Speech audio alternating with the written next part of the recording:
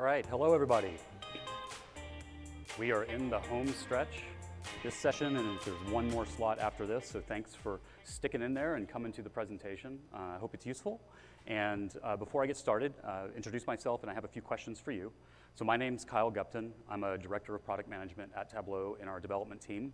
I work with our customers in a few of, of what we call our vertical markets, so public sector, healthcare, financial services spend a lot of time with our public sector customers. Hence, I get involved in accessibility things quite a bit since that's the uh, largest concentration of our customers who are interested in that, though it's not exclusive to that. We have a growing number of customers uh, who in financial services in particular, as well as higher education who are also interested uh, in accessibility.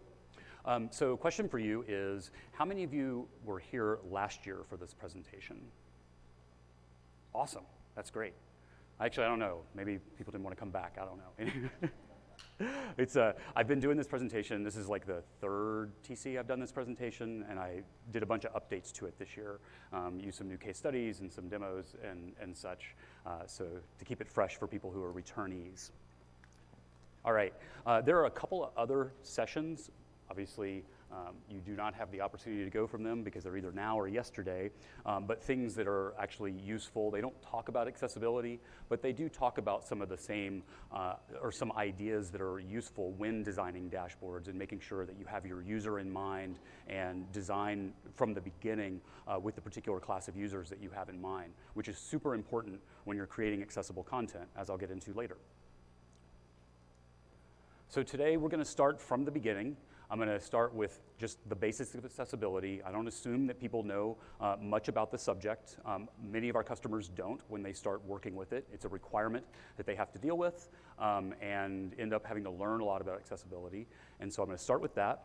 I'm going to get into an explanation of the specific web accessibility standards, which are most relevant in this space. And then I'm going to talk about how to apply those standards in terms of best practices that you can use in Tableau and then show a case study of taking an existing dashboard, apply those best practices to it to make it more accessible. And then if we have time, I'm gonna do a demo of using that dashboard with a keyboard and screen reader on my computer. Um, I have quite a bit of content, and if there's many questions, um, I may not be able to get to the demo, but we do have some videos of me using a different dashboard with the screen reader that are available um, on our website. So I can, I can point you to how to get to those if we're not able to make it to the demo. All right, so the basics. So what is accessibility? It is the usability of a system by people with disabilities. And there are a lot of different types of disabilities that we're talking about. They could be vision impairments, deafness, hearing loss, uh, cognitive limitations, limited movement. All of those sorts of things are the types of disabilities that we think about when we talk about accessibility. And in order for a system to be accessible, each of these disabilities requires a different type of accommodation within that system to make it more accessible to someone with that disability. And of course, within each class of disability, there's a range of impairments, you know, from you know, a very minor uh, impairment to a much more severe impairment. And depending on the level of impairment, the accommodation in the system may change as well. And we're going to see that, and particularly uh, regarding visual disabilities, because we're going to go into a lot of detail about that since it's super relevant. Now, when we talk about computing systems, um, we talk about assistive technology, or AT, and this is technology and mechanisms that make computer systems more accessible. So to give you an idea of what some of these devices are, um, for this one, we have some assistive technologies uh, to deal, to help people with limited movement. So on the left is a picture of what's called a keyless keyboard. Uh, this is designed to help someone who has some motor control but not fine-grained motor control still manipulate a computer through its keyboard interface through the use of two large switches. On the right, the gentleman is using what's called a sip and puff switch, which allows him to manipulate the keyboard by either sipping or puffing on the tube that's in his mouth. You might be most familiar with those in terms of wheelchair control, because that's quite common, but you can also get them that have interfaces to the computer for manipulating an on-screen keyboard. For vision impairments, there are a couple of out there that are most common. On the left is a refreshable braille display. It's a device that hooks to the computer and basically has a series of pins at the bottom that can change in order to create different Braille characters based on the text that's shown on the screen. More commonly, um, users with vision impairments who need them use what's called screen reader software. And so this is software that runs on your computer and it reads in a computer generated voice the text that's on the screen. Um, there are three of them that are most common out there. Uh, JAWS for Windows is probably the, the big boy in this space and probably the most common one that you're going to encounter. Second one is freeware and it's NVDA. Um, it's like non-visual desktop access, I believe is what that stands for. And that's a freeware open source project that's out there. And that runs on Windows as well. And then the Macintosh has built-in screen reading software called VoiceOver. Uh, and so these are the ones that are most commonly used out there in the market. And so if we get to the demo, I do use a Mac, and so I'll be demoing the VoiceOver screen reader uh, with that.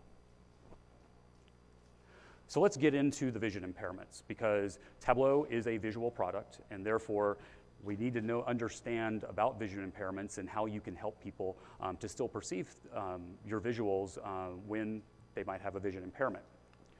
So the impairments exist on a wide scale. You know, a lot of times, uh, I know when I talk internally to people at Tableau, the first thing they ask is, how is a blind person supposed to use a visualization? And it's like, well, that's a good question. It's hard. Um, there are ways to do it, but there are a lot of other visual disabilities besides being, you know, totally blind or being unable to perceive light. And some of these are really common. So red-green color blindness is a great example of that. It affects about 8.5% of males and about half a percent of females. And so, you know, roughly 5% of the population is red-green colorblind, very common. Um, and so that's very common. There are other types of color blindness, like inability to perceive color, uh, that are much less common, but they do exist.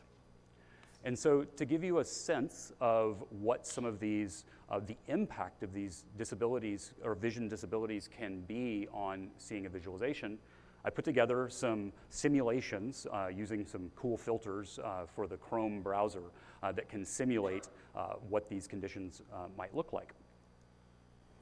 So this example here, we're going to return to this later as the basis for our case study. Um, this is a, a, real world customer dashboard from the National Health Service in Great Britain. Uh, it was featured in the book, The Big Book of Dashboards, which is a really cool book if you don't have it, um, as an example of a dashboard in the healthcare space. So it basically tracks patient admission, admissions to a series of hospitals in the NHS. And this is the, the dashboard that was being used and was published as is. And later we're going to make it more accessible than it is because it has a lot of trouble. So my first simulation is what things look like uh, with the red-green color blindness. So this is a simulation of red-green color blindness. And if you're not red-green colorblind, you'll see that there are some changes in the colors of the marks that start making it difficult to distinguish the marks from each other. The colors look kind of wonky, definitely not what the designer originally intended. Next, we have a simulation of no color vision, where the world is in shades of gray, like a black and white TV. In this case, you can see that it's nearly impossible to tell apart some of the marks from each other uh, in this timeline. These are timelines of events is what they are. So as you go from left to right, each row is a patient. As you go from left to right, it's time, and these are events within the National Health Service, like came for an appointment, was admitted to a hospital, discharged from the hospital, et cetera. That's what, this, what these visualizations are.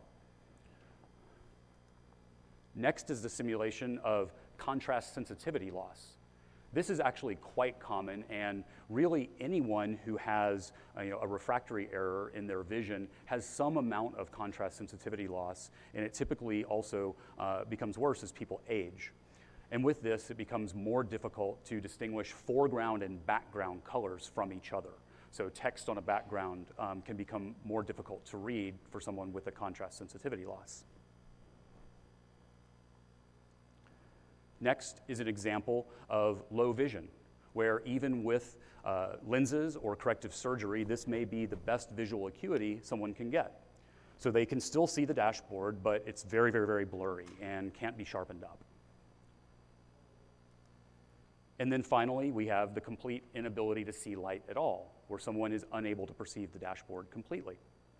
So we can see that there is a huge variety of disabilities and you know, vision impairments that we can think about. And there are different techniques that help people um, still perceive things when they have these disabilities. And that's a lot of what we're going to talk about in the best practices. Now, of course, this is challenging because you know, our company's mission statement is to help people to see and understand data. It is a visual product, and in fact, the whole kind of genesis of Tableau as a product was leveraging our most powerful sense, takes up a huge portion of the processing power of our brain, which is our vision center. And it's leveraging that power to enable us to understand and pull insights out of data that you wouldn't be able to get by just looking at tables of data. That's kind of the whole reason for being for Tableau. So, you know, what can we do? What's our goal here? So really what the goal of creating more accessible dashboards in Tableau is, is to allow more people who have these visual disabilities still be able to benefit from the power of Tableau. So even if you have you know, color blindness or no color vision or a contrast sensitivity loss, you can still benefit from the visual nature of Tableau if the dashboards and vizzes are designed correctly. And then for someone who's unable to see the dashboard, we can at least still give people access to all of the data that's underlying the visualization. So that's really what our goals here are, to expand the scope of, or expand the number of people who can benefit from the power of Tableau, but at least give access to the data um, to everyone. Okay, so that aside, um, there are a number of laws and regulations in this space, and it's actually growing. I had to add a few more from last year. Um, probably the biggest one, uh, if you're in the United States, that's most uh, talked about is Section 508 of the Rehabilitation Act of 1973. That's the US federal law that uh, has requirements for the accessibility of electronic and information technology that is purchased and deployed within the federal government. And it flows down to some state and local agencies as well.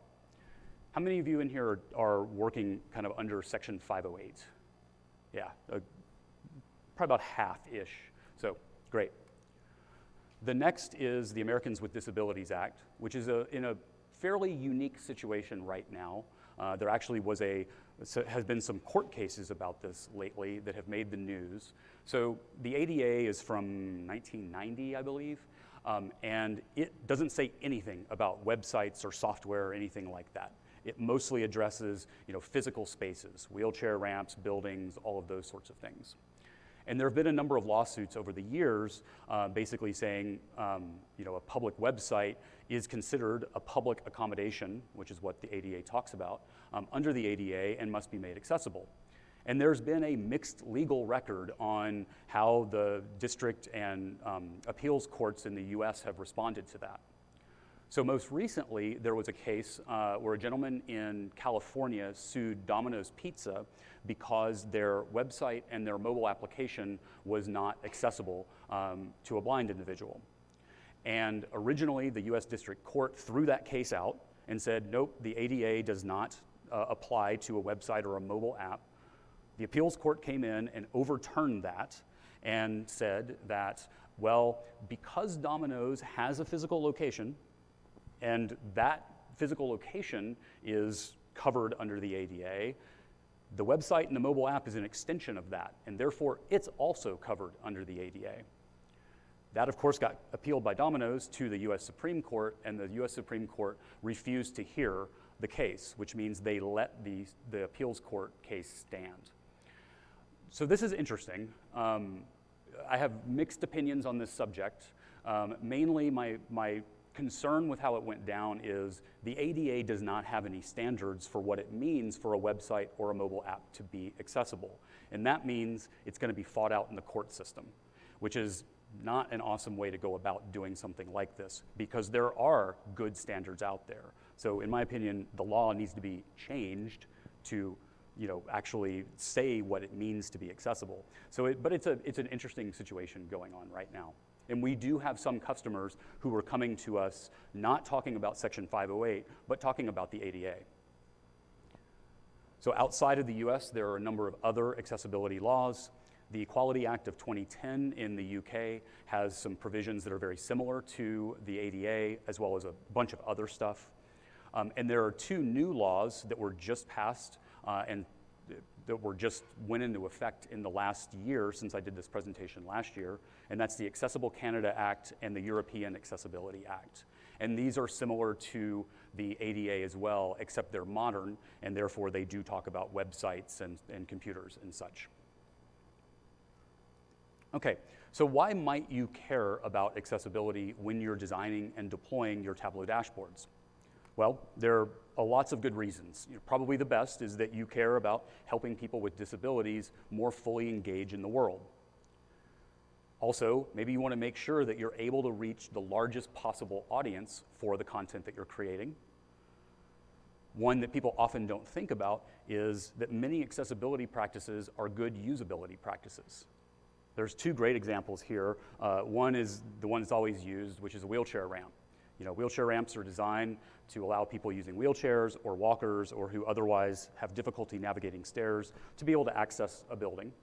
But they're useful if you're pushing a baby stroller or pulling luggage or pushing a cart with something on that. Lots of people can benefit from wheelchair ramps. The second example is one just that happened in my own life, and I thought it was kind of funny. So my wife and I are big horror movie fans. And there's a movie that came out a couple years ago called The Witch, which is really good if you like horror movies. But in The Witch is set in like 1600s era New England, and it's really hard to understand the people in the movie um, because they're speaking in kind of a old dialect with an accent, and it's you know kind of quiet. And we're like, I'm not really sure what's going on with the movie. Turn on closed captioning.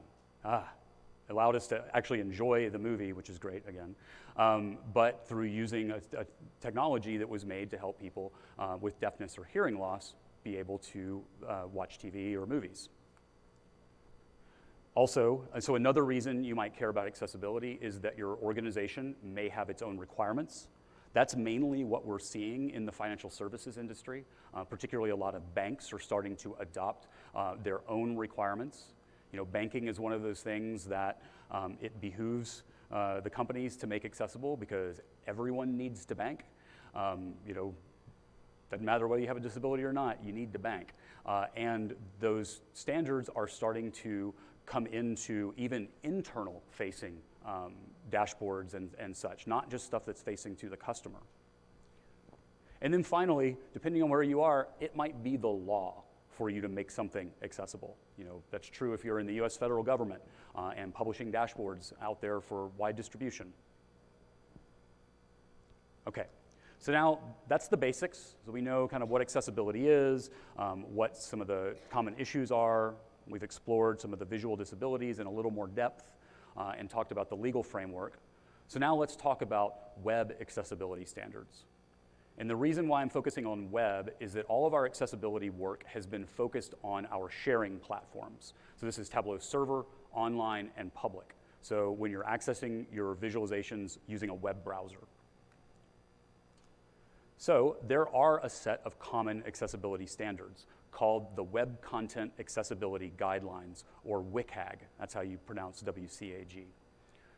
This was developed by a group called the World Wide Web Consortium, which is a standards body that maintains technical standards like HTML, CSS, those sorts of things. And it is a, it's really two things. Uh, one, it's a set of recommendations for making web content more accessible. So how to properly code uh, your web content, how to properly design visually the content.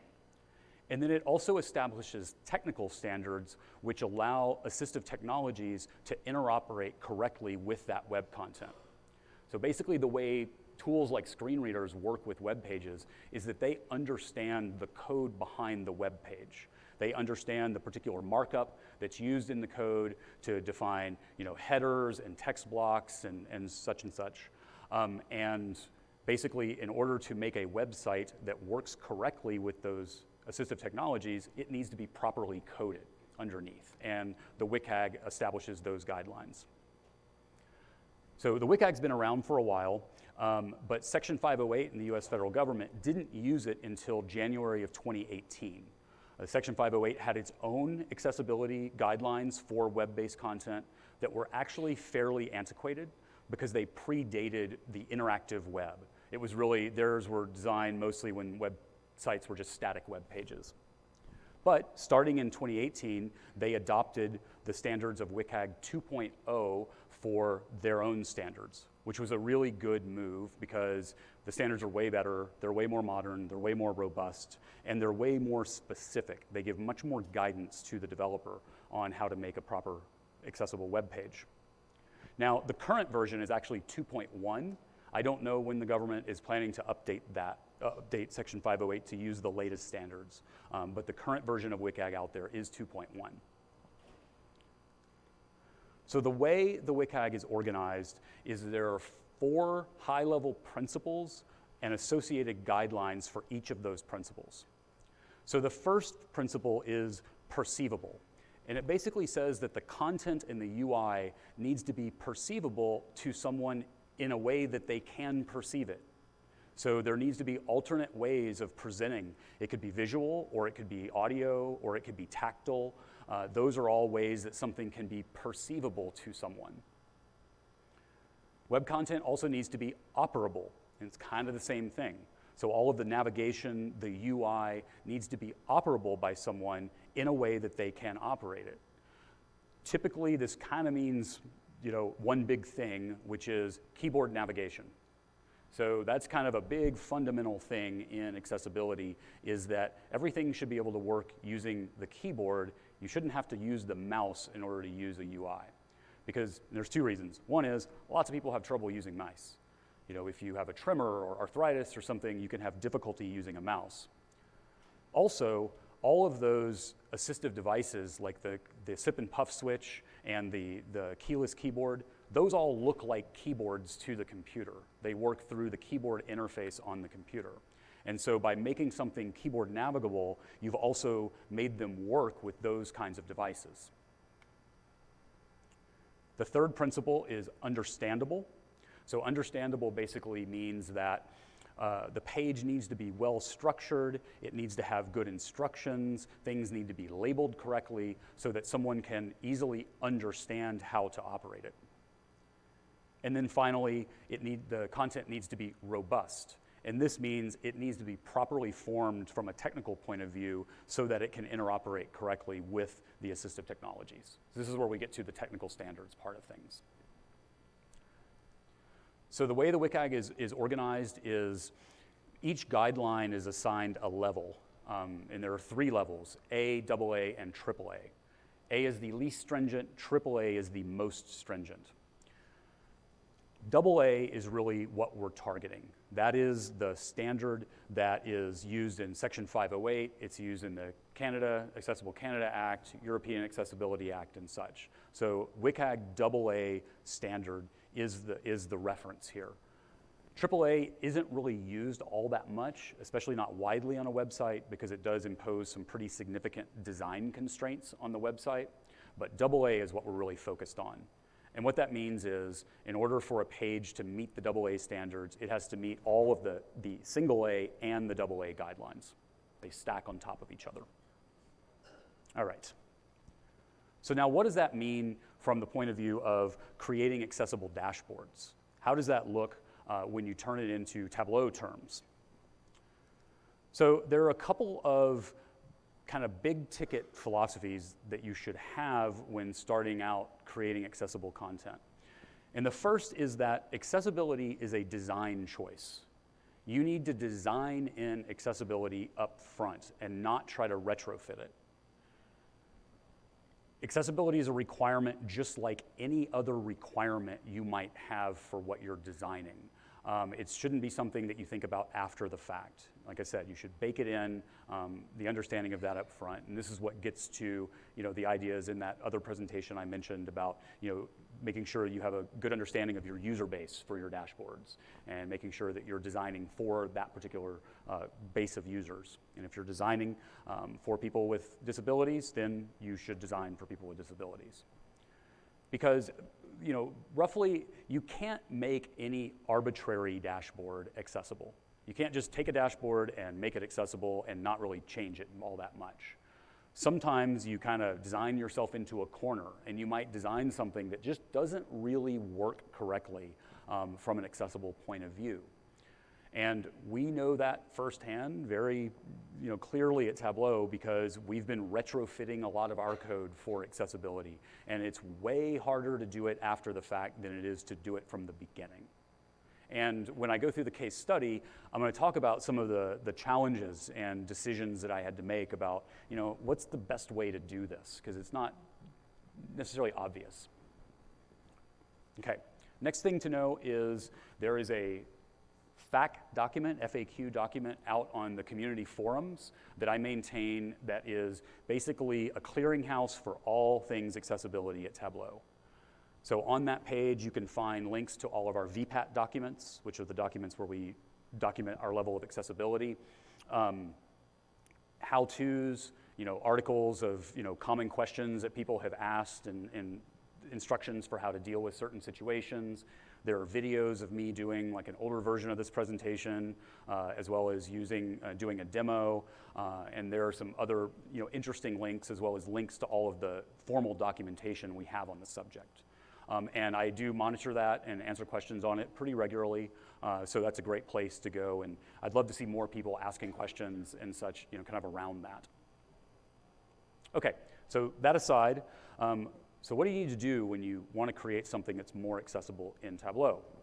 Well, the first thing from a practical point of view is you want to make sure that you're only using elements in the dashboard that we have made accessible. There's really kind of two classes of work that goes on in making something accessible. One is stuff that we have to do. Like we have to enable certain features in our platform in order for them to be accessible. Like all the stuff that's on a dashboard, we have to make sure that it works correctly with the keyboard. That isn't something that you can do on your own. And then there's the stuff that you have to keep in mind about like color choices and those sorts of things uh, when you're designing the content. So to date, and this is the, the current uh, list as of Tableau 2019.4, which is the current version out there, and this is actually really true for the last six months or so as well. So the things that you can put in a dashboard um, that are accessible are workbook tabs, so you can show the tabs of a, of a workbook, uh, titles of dashboards, the views themselves in particular, or specifically the title of the view, the view data window of the view, and the caption for the view if it's visible on the dashboard. And, and by accessible, I mean it works correctly with the keyboard, screen reader works correctly with it, and so forth. Because the way you deal with views is, you know, if someone is unable to see the view, they open the view data window, and then they get the data underlying that view in a table that can be navigated using assistive technology and a keyboard. So two filter types so far, list and drop-down list filters, categorical legends, and then a bunch of the objects that you can place on a dashboard text objects, web pages, images, and buttons. And then finally, the visualization toolbar itself. So this is the toolbar that shows up by default um, that has like the links to you know, share a viz and download an image of the viz or the data behind the viz. Um, all of that is accessible. And there's still a lot that we have to do. Um, you know, parameters, that's a big one. Uh, other filter types, uh, Uh, we've got a lot to do, and we are, have plans, and we are working on this, and you know, looking to expand out the number of things that you can use in these dashboards that need to be more accessible. Got a whole presentations and specs and everything on that that I'm working on with the various members of the other development teams who do the actual work. So the next thing to do is, of course, you need to publish that dashboard because it needs to be on one of our sharing platforms, one of our web-based platforms. So either server, online, or public. And you can also, and this is a, a change, uh, as of Tableau 2019.4, um, you, it always used to be true that you needed to embed the dashboard in an accessible web page because the Tableau server or UI kind of UI that sits outside of the dashboard was not accessible. Well, we've resolved that in Tableau 2019.4, um, and I'll show that as part of the demo, which I hope I'll be able to get to. All right, so now these are the kind of the big ticket items. So now when you start looking at the things that you need to keep in mind in terms of your design, we'll look at the specific guidelines and groups of guidelines in the WCAG that are applicable. So you can think of this list as a distillation of the WCAG specifically for Tableau authors. So there's a lot of the WCAG that doesn't really matter to you as a Tableau author because it addresses things like, like audio and video and those sorts of things which are not typically found in Tableau dashboards. And there's really only five groups of guidelines that are relevant that you need to keep in mind when you're designing your dashboard. So let's talk about each of these and, and their best practices in Tableau. So the first one, and this is probably one of the most important ones, you know, this is pretty much the second most important one besides keyboard, is what's called a text alternative. And so the guideline here is that any non-text content on a web page needs to have a textual alternative that serves the same purpose. And this is so that it can be read by a screen reader or put into a braille display or something like that. So best practices for dealing with this are, there are a number.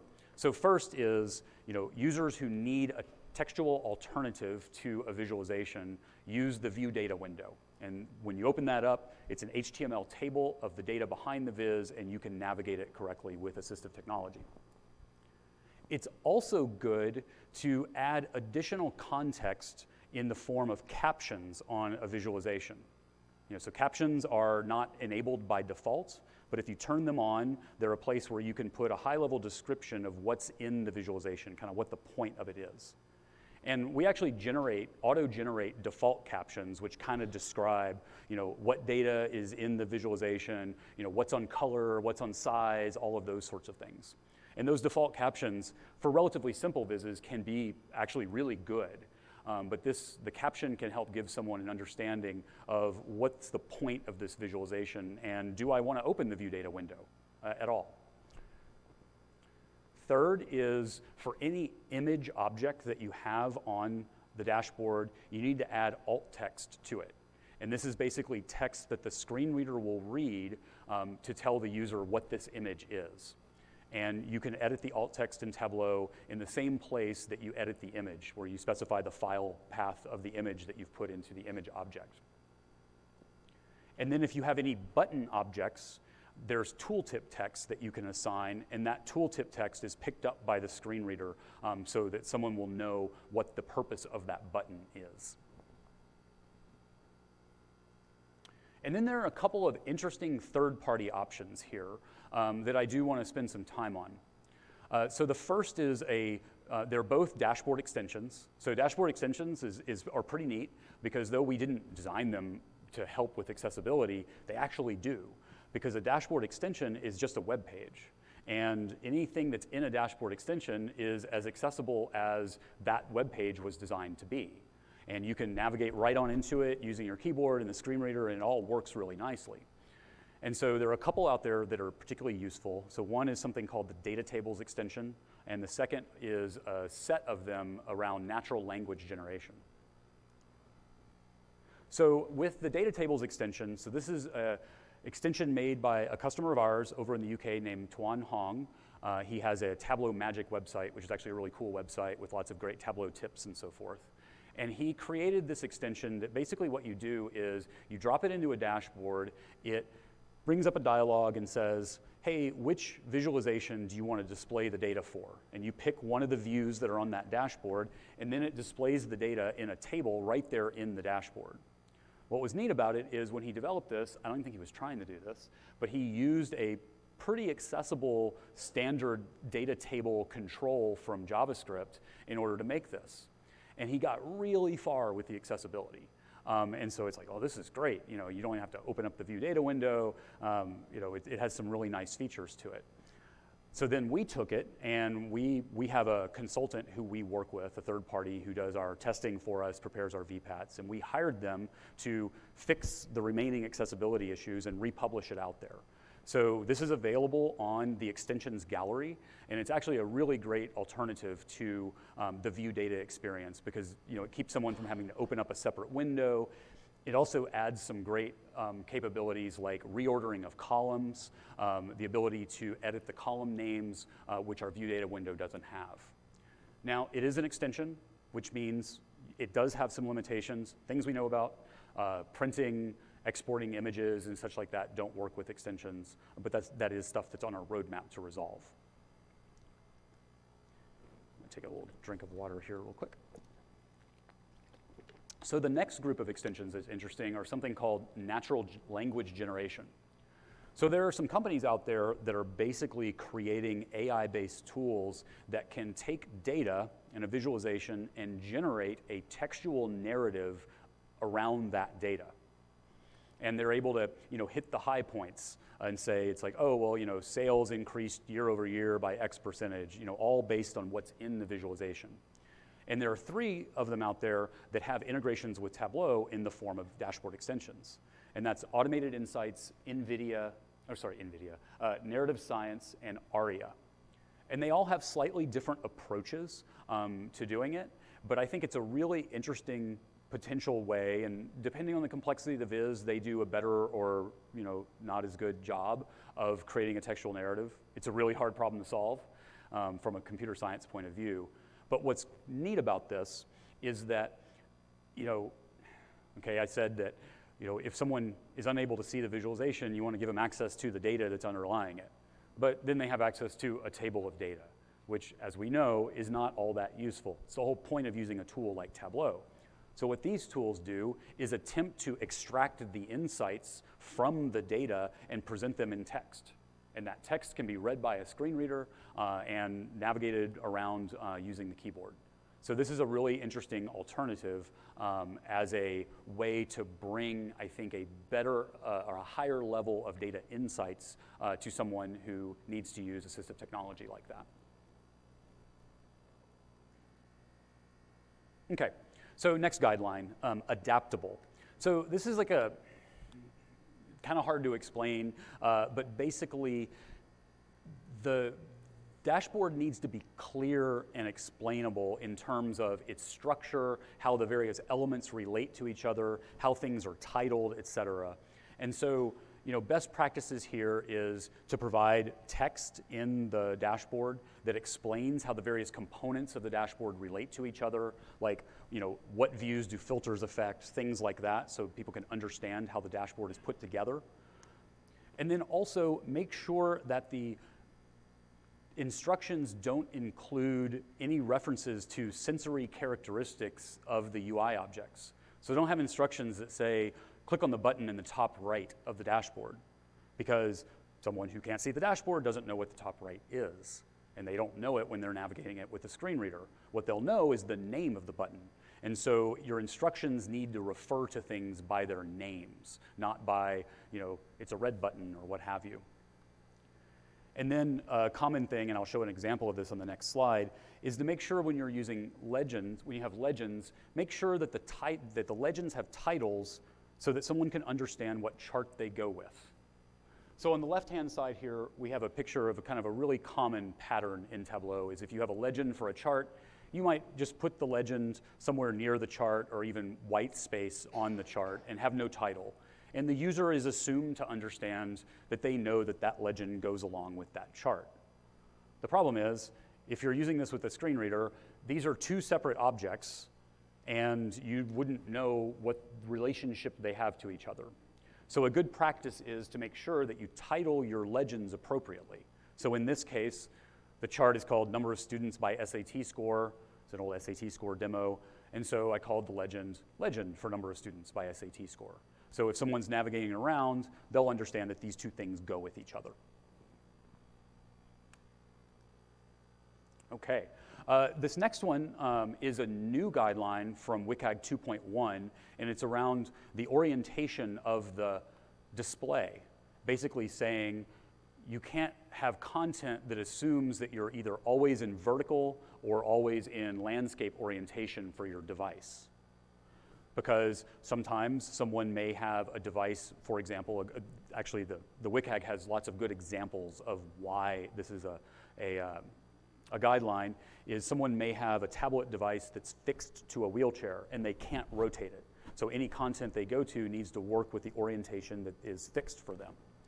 And so, you know, a good way to handle this in Tableau is to add additional dashboard layouts for tablets and phones. So ones that work for both portrait and landscape orientation.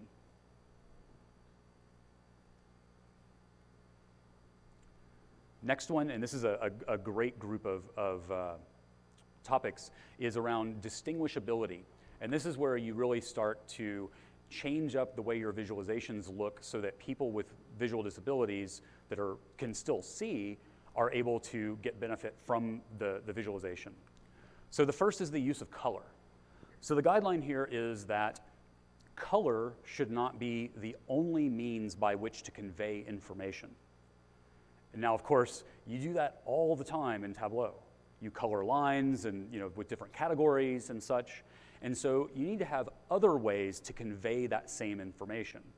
And so there are different ways of doing this. You know, judicious use of labels um, in, your, in your dashboard can be good. Uh, like if you have like a fill color or something on a map, you can just have a label there on the map that you know, says you know, what the value of that color gradient might be. Um, if you have a line chart, you can do a dual axis and overlay shapes on top of the lines uh, so that someone can tell the lines apart, not just by the color, but also by the shapes that are there. And there are some other things like in beginning and end caps to lines uh, that are particularly helpful here. And you know, we do have a colorblind color palette that's designed for red-green color blindness. Um, I think that's a good practice to use, but it's not sufficient because it's specific to red-green color blindness. And that's not the only kind there is. There are other kinds of color blindness. And so this guideline is meant to allow the content to work for anyone regardless of what kind of color vision issue they might have. Another uh, visual choice is around the contrast and the contrast of the foreground and background color of text. And so basically, there needs to be enough of a difference between the foreground and background color that someone with a contrast sensitivity loss can still perceive it. Uh, there are tools out there. Probably the most common one is called the Color Contrast Analyzer.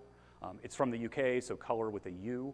Um, if you want to search on it, it's a great little tool. You just use a little eyedropper and you can sample foreground and background and it'll tell you the contrast ratio and whether it meets the WCAG guidelines. So for example, you know, here on the left we have a pale gray. You, yeah, you can see it. Uh, it says accessibility. That does not meet the contrast ratio. The text on the right does. Um, luckily, the default text color in Tableau meets the contrast guidelines. So if you just use the, the straight up default guideline or default color uh, with the Tableau font in uh, your dashboards, that meets the, the color contrast requirements.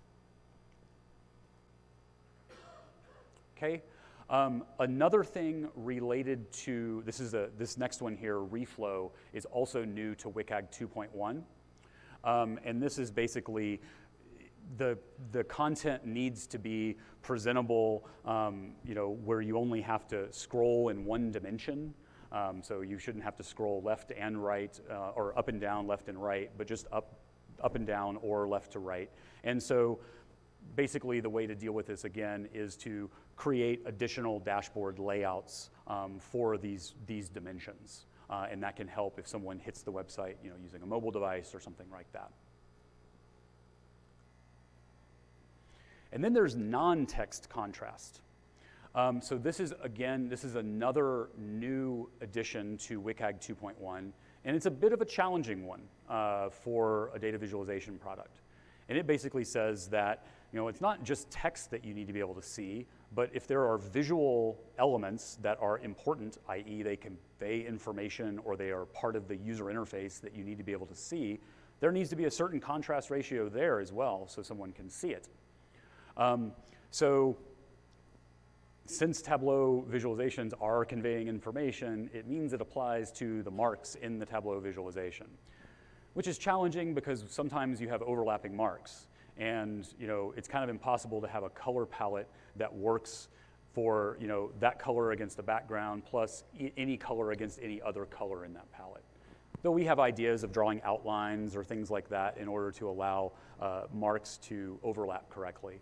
Um, so right now, we don't have a great solution for this, um, but one of our enterprising customers at TD Bank in Toronto has created a set of colorblind color palettes um, that all meet these color contrast guidelines.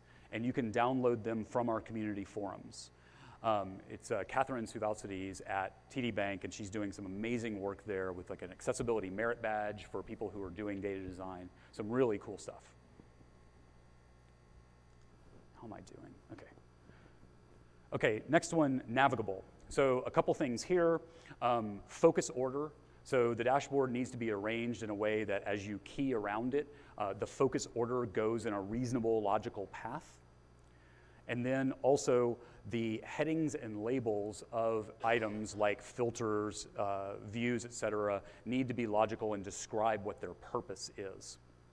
So you need to set a sensible focus order for the dashboard zones, and then also title everything correctly. You know, don't leave titles off of things. Uh, make sure the titles are explanatory. The focus thing is kind of weird. So we're not real good at that right now. So in Tableau today, the dashboard focus order is set conveniently by the order in which you put the objects in the dashboard, which is probably not all that helpful because you probably didn't build the dashboard in the order that you want someone to navigate it. So the way you work around that right now is you can edit the XML that is actually what a Tableau workbook, a Tableau workbook is actually an XML file. And you can edit the XML to reassign the order of the zones. And I have an article um, on the forums that explains exactly how to do this and shows how to do this. And it works really well. I've tested it with upgrading, downgrading, making other changes, and it works really well. We are working on some new dashboard layout uh, tools in Tableau, and that is definitely one of the things that we're going to put in there is a proper UI for assigning the order of the key focus order of the dashboard. Okay, and the last one uh, is input assistance. Um, so this is basically, again, good labels and instructions for how to use the dashboard. Um, so, you know, good practices are to put text blocks there um, that describe, hey, this is what this dashboard is, this is what these filters are for, et cetera, et cetera, et cetera.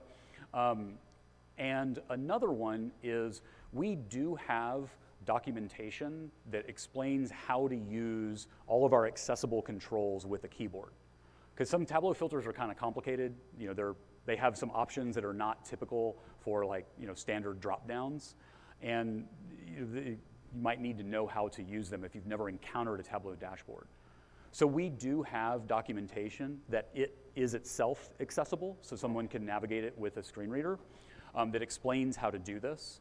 And you can, and I'll show in the case study an example of this, you can put like an image object or something on the dashboard that has a link that opens up the web page so that someone can get to the instructions for the dashboard. And there's a, an article on the frequently asked questions list that explains how to do this, what URL to use, and so forth. All right, that is a lot.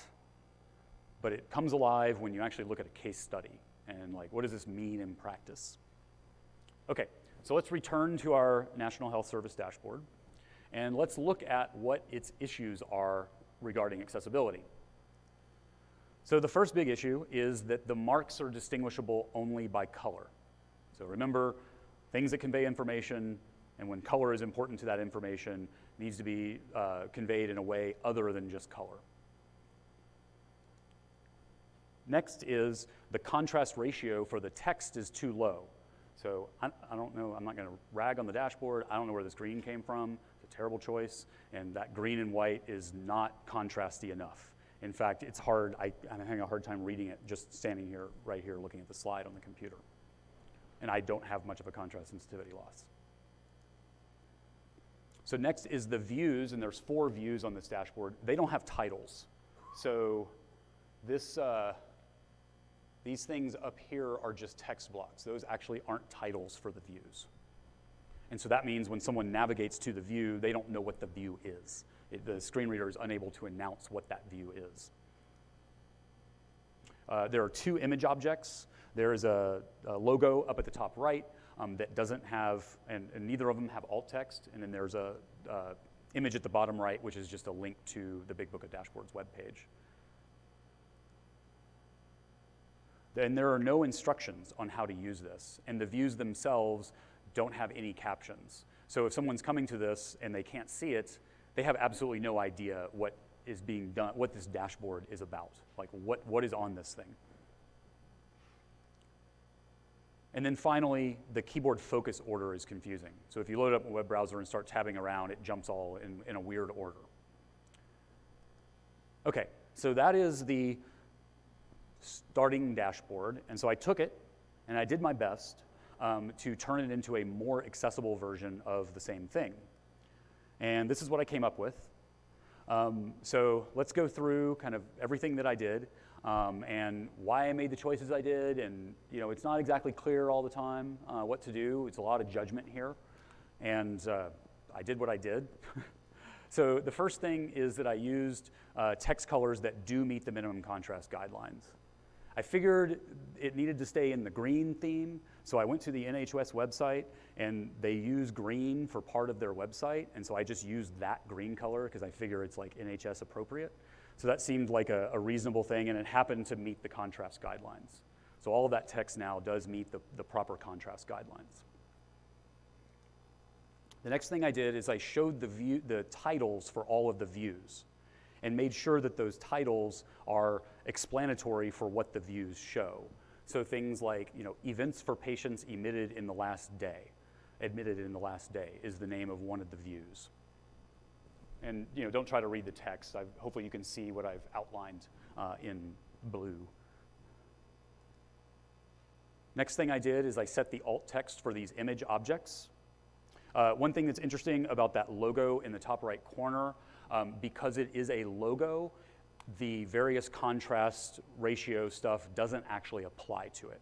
Since it's an official logo, the, the WCAG contrast guidelines don't apply to its text. Ordinarily, it does. Um, ordinarily, an image of a text, an image of text should have the same contrast uh, ratio as non-image text, um, but not if it's a logo. There's a special clause in the WCAG about that.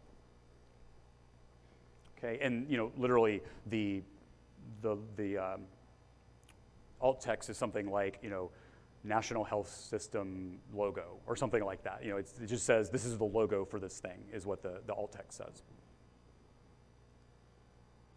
I also added an image object um, that looks like it's a little green question mark, kind of little question mark help. That's a button. Oh, sorry, that's an image with a link on it. And that opens up the web page that I talked about that explains how to use a Tableau dashboard uh, with the keyboard. I also put a big block of text um, on the dashboard that explains, hey, this is what this dashboard says. These are what the filters are. This is what the filters do. You know, you use this filter and that filter, and et cetera, et cetera, and explains how to open up the view data window and so forth as well. Now, another thing you might do um, if you, you know, really want to go all in on this, is you can take, um, instead of linking to our web page that shows how to use the, um, the keyboard navigation with the controls, you could have a custom web page for this dashboard that has instructions about the dashboard and integrates it all together to explain to someone how to use that dashboard. We actually had our consultant try this out and it worked out pretty cool.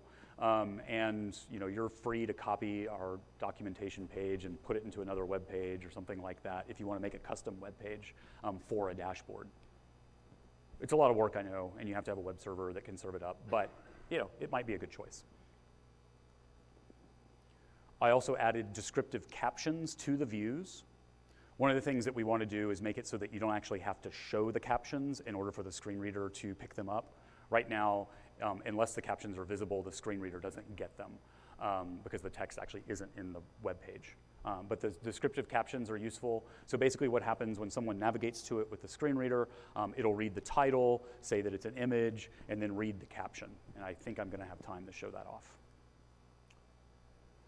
I made sure to use um, all of the accessible filters that we have. And then there are a bunch of extra filter options that are on by default that allow you to there are these little glyphs that show up when you hover over the filters that allow you to do things like, you know, show all of the values in the database or even change the filter type. They're confusing and they're strange for someone who's never interacted with Tableau before. And so I think it's good to turn them, probably good to turn them off in general. Um, they're mostly useful for like, you know, when you're doing the analysis and building the dashboard, not necessarily for the end user of the published dashboard. Also made sure that the titles for the filters indicate which action to take, you know, select this, select that. And then made sure that the instructions refer to those filters by their specific names. So, you know, not, didn't describe them colloquially in the, in the instructions, use the specific names. Um, have a legend title that indicates its function. And then I use shape marks in the viz. So instead of using color to indicate the different kinds of events, I use shapes. So that gets over the uh, using needing to use color uh, in order to tell things apart. And then finally, set the focus order correctly. And that's what I came up with. And now,